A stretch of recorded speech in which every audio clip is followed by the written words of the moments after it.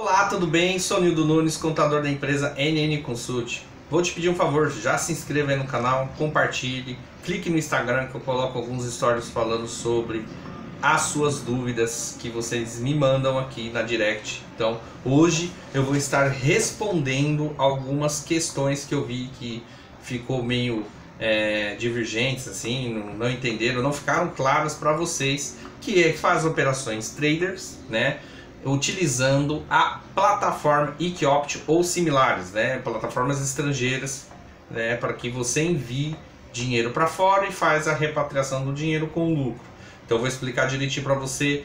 Acompanhe esse vídeo até o final. Não se esqueça de se inscrever, por favor. Já compartilha aí nos grupos, que eu sei que você participa de grupos de trader, páginas de trader. Já compartilhe esse vídeo que é muito importante, porque isso aqui pode salvar a sua vida financeira. É verdade. Pense o seguinte: se você hoje tem que pagar 15% de imposto e você não recolhe isso mensalmente, quando você for fazer sua declaração, você vai ter que pagar os 15% mais os 20%. Estamos falando de 35%. E isso se a Receita não é, cobrar mais, tá? Então vamos dar umas resumidas em algumas questões aqui que eu peguei aqui, vou até ler aqui, ó, tá no, no Instagram.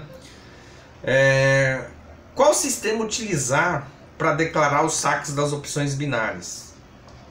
Os, as pessoas têm dúvidas entre o carnê-leão e o ganho de capital. O carnê-leão você preenche isso também mensalmente, só que é rendimentos recebidos nacional, ok? O ganho de capital ele tem a opção lá de você colocar moedas estrangeiras e o lucro. E o que, que acontece? Quando você envia um dinheiro para fora e repatria ele, você vai lançar ele lá no, nos lançamentos, nos campos lá, o seguinte, eu depositei na Equioption 100 reais, dia 10 de fevereiro. Dia 15 de março, eu saquei. Então, quando você for lançar isso mensalmente, você vai colocar lá, eu depositei isso, é, depositei 100 e saquei 200. A diferença é o seu lucro, correto? Perfeito. Só que o que acontece?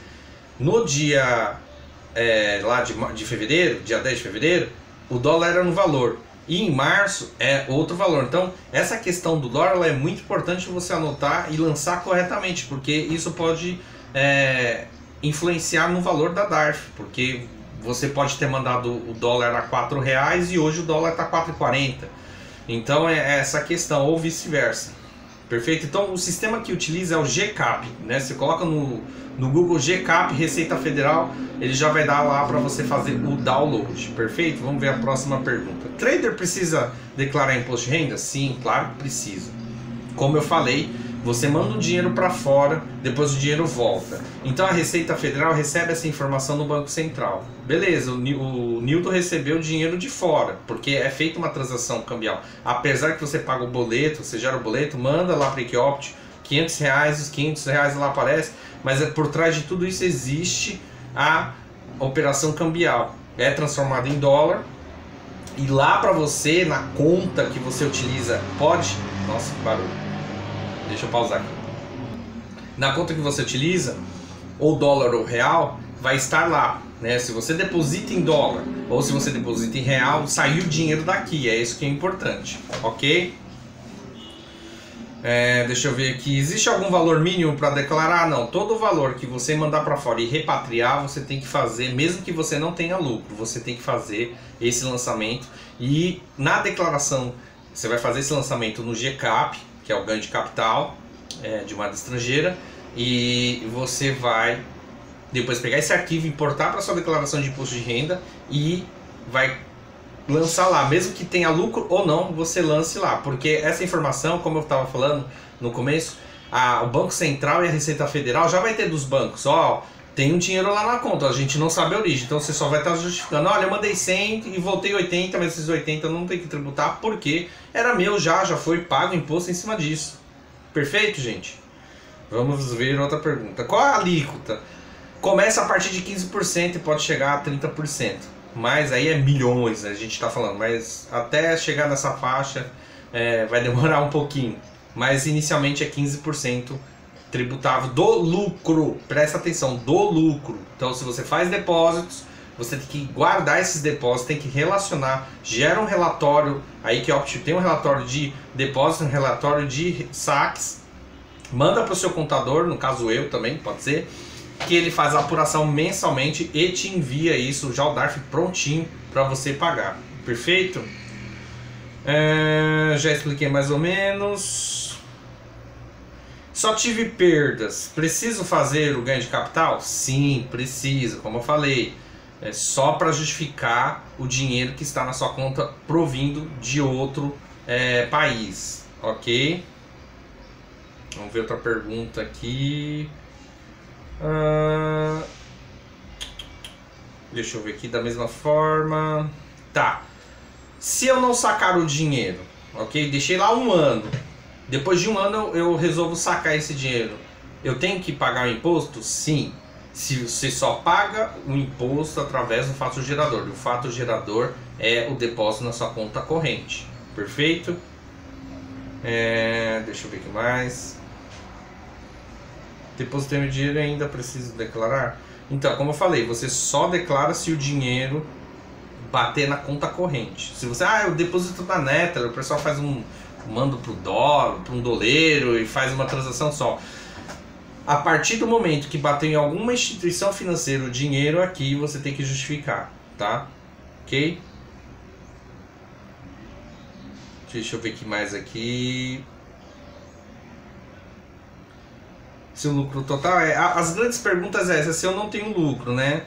Se eu não tenho ganho, né? Mas eu faço o saque, eu preciso declarar sim, precisa declarar. Deixa eu ver aqui mais aqui. É, gente, eu acho que eu tirei algumas dúvidas principais que as pessoas estão tendo. Então, ah, é muito difícil preencher o, o, o ganho de capital? Não mas você tem que prestar, tem alguns detalhes e você depois tem que gerar a guia mensal. Sempre essa guia, você, por exemplo, você sacou em janeiro, ok? Você vai pagar a guia somando tudo, lançando tudo bonitinho lá no ganho de capital, você vai pagar em fevereiro. Depois, ano que vem, você vai importar essas informações mês a mês na sua declaração e vai colocar, ele já vai subir automaticamente para rendimentos não tributáveis, porque você já pagou imposto em cima disso. Tá ok? Ah, uma grande pergunta. Eu não fiz ganho de capital em 2015, em 2019. Devo fazer agora? Sim. E vou pagar com multijuros? Sim, infelizmente, gente. Então, se você tem essa com essa dificuldade de fazer, entre em contato comigo, meu WhatsApp vai estar aqui embaixo, o e-mail vai estar aqui embaixo. Vamos resolver, vamos fazer um cálculo e vamos lançar isso mês a mês. E deixa eu pausar aqui parou a buzina. Você vai ter que lançar mês a mês, depois importar para o programa da Receita Federal e aí você vai julgar ou você paga multijuros na declaração anual ou você já vai recolhendo aí o que você não recolheu. Mas isso é uma decisão sua, tá ok? Deixa eu ver aqui mais. Ah, MEI. Eu tenho um MEI, posso utilizar para fazer as operações binárias? Olha, as empresas podem fazer investimentos fora mas o que, que eu é, recomendo? Você não misturar as coisas. Porque assim, independente de ser MEI, você vai ter que recolher o ganho de capital. E dependendo do valor, o MEI é, é, é 80 mil reais no ano, são 6 mil reais por mês. Então não vale a pena você utilizar a forma MEI para operações com a Equioptio. Mas eu posso ser PJ? Pode ser PJ. Você tem que ter uma atividade de aplicações financeiras, atividades financeiras e fazer isso legalmente e aí você vai precisar de um contador. Ah, outra pergunta, Nilo, preciso de contador ou eu posso fazer sozinho? Olha, eu tenho conhecimento, sei os caminhos, ok? É igual você que faz as operações, você já tem as estratégias, ou comprou as estratégias, ou assistiu as estratégias, e faz sozinho. Tem os ganhos e perdas, espero que sempre sejam os ganhos. Mas é, existem alguns detalhes, algum, algumas informações que você não tem então, você busca na internet, muita gente diz muita coisa. Então é importante você entrar em contato com o contador, pegar as orientações, pagar o contador, tá? Porque o contador não trabalha de graça, ok? É... Faz um primeiro mês, tenta pegar, ver se você consegue, pelo menos no ganho de capital. E na declaração anual, você sim chama o contador, que agora, né? tem agora, a partir de março agora, a gente já começa a fazer as declarações de imposto de renda. E aí você paga o contador, porque vai ser muito pouco em vista dos grandes saques que você vai fazer na Equioption, ok? É, ah, Nildo, e o valor isento de 28.559? Isso é para recebimentos nacionais aqui. Passou disso, é, a gente está falando da Equioption hoje. É um dinheiro estrangeiro. Você tem que justificar esse seu dinheiro. Então, você precisa fazer o ganho de capital, independente da isenção, de qualquer valor, ok?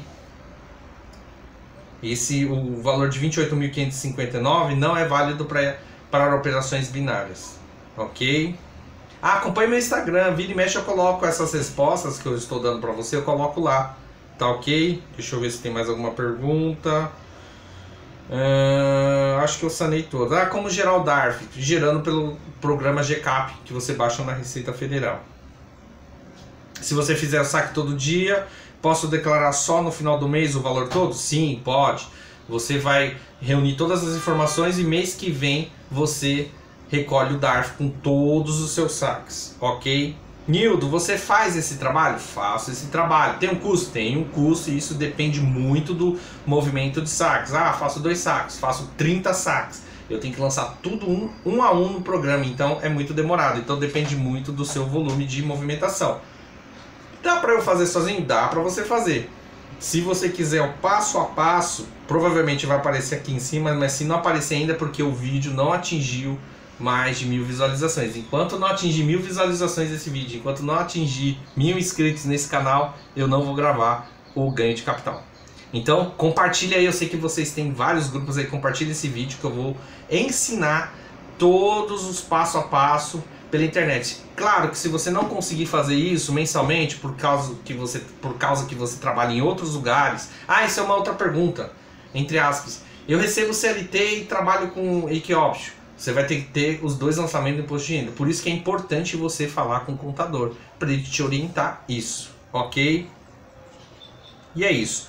Lá no meu Instagram, é, você vai, ter lá um, um, Eu esqueci, um folder, não sei se fala assim no Instagram, mas tem lá Trader Imposto de Renda. Lá, tem todas as informações. Então siga lá no meu Instagram, eu quero que o meu Instagram chegue a mil inscritos eu vou gravar um vídeo agradecendo para vocês, tá bom? E eu vou fazer algumas lives, vou fazer então esteja aqui no canal e esteja lá no Instagram.